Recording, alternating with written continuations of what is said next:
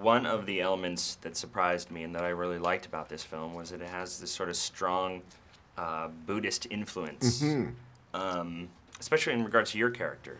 Uh, was that a product of your involvement, or was that sort of always part of the film?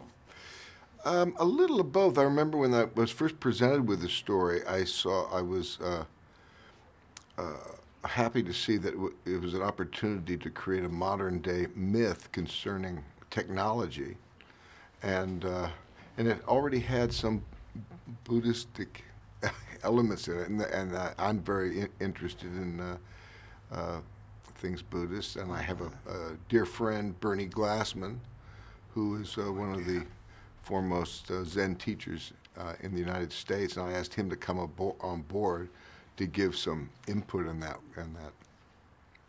Interesting, because yeah, I actually spoke with uh, Garrett the other day, and he said that you were consulting with um, sort of guru, and I, I'm Yeah. assuming that was Bernie. Bernie, yeah, absolutely. Um, did what sort of questions did you ask him? Was it in regards to just the character, or Uh, he sat in uh, on story meetings and uh, would give his, you know, his thoughts. And uh, if I had questions, I would ask, you know, ask him different, uh, different things. He was, he made himself available to us.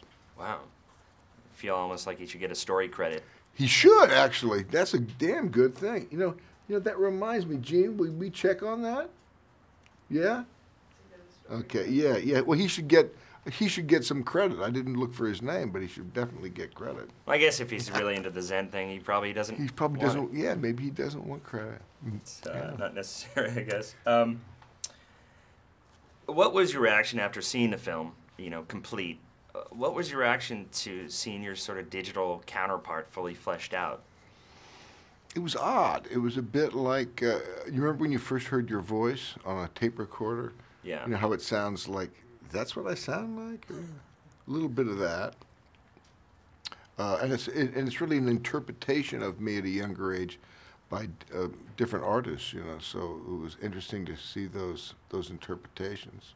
Well, yeah, because I guess it's sort of like this is how other people see me. Yeah, and that's something that you know you work, or I do anyway, when I'm making movies, to uh, call on because the great thing about making movies is a communal art form. You get the benefit of all these other artists, you know, zoning in, and I like to use those artists from you know the directors, the writers, the you know costume guys, the set guys, all those fellows, to help take me off of my own vision so I can uh, not just portray myself, you know, but it's something a little bit, yeah, it, it, it uh, expands the, uh, the sort of the bandwidth of the, of the character for me.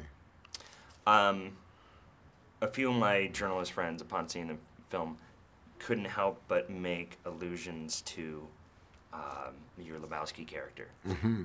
Do you feel like there's a little bit of a curse involved with that character that it's followed you and that people compare subsequent performances to yeah, it? Yeah, well, you know, like most things, uh, it's kind of a double-edged sword. You know, there's, and for me, the wonderful side uh, outweighs the, you know, any kind of uh, persona trap or anything like that. I mean, I love that movie. That's one of the best, best movies I've ever seen. I know I'm, I'm, I'm partial, you know, but even I think if I could remove myself out of that, I think uh, I would still love that movie. I mean, that uh, they're they're real masters, Yeah.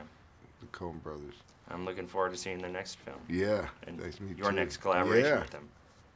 Um, it's very cool. All right, man. All right. Nice.